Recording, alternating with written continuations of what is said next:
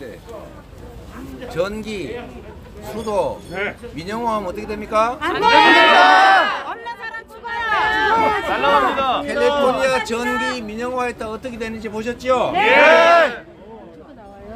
인천공항 철도 민영화하면 어떻게 됩니까?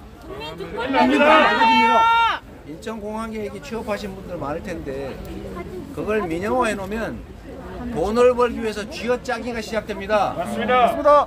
공공이 가지고 있으면 특별히 이익 많이 안 내도 고용된 사람, 지역사회, 국가 발전에 신경 쓰겠지만 민영화해 놓으면 돈 벌겠다고 쥐어짜가지고 해고하고 일 막 많이 시키고 요금 올리고 독점이니까 딴 데 갈 데도 없지 않습니까? 맞습니다.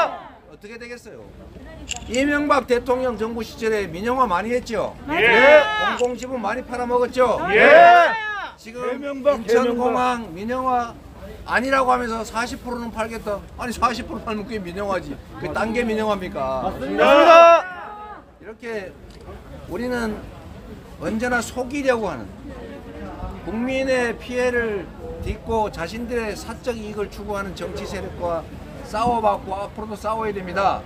맞습니다. 여러분 인천공항 민영화 하겠다는 거 인천시에서도 그런 움직임이 있었죠? 예. 누가 그랬는지는 여러분 생각해 보십시오. 이명박 여러분 우리의 미래 세대들 이런 공공시설, 공공필수제 민영화 해 놓으면 죽어납니다, 여러분. 맞습니다. 근데 벌써 지금 취임한 지 며칠 됐다고 저런 소리 합니까? 대장입니다. 여러분, 우리의 삶을 위해서 진정 국민들의 삶을 생각하는 민주당 유능한 일꾼 후보들 꼭 뽑아주십시오. 고맙습니다.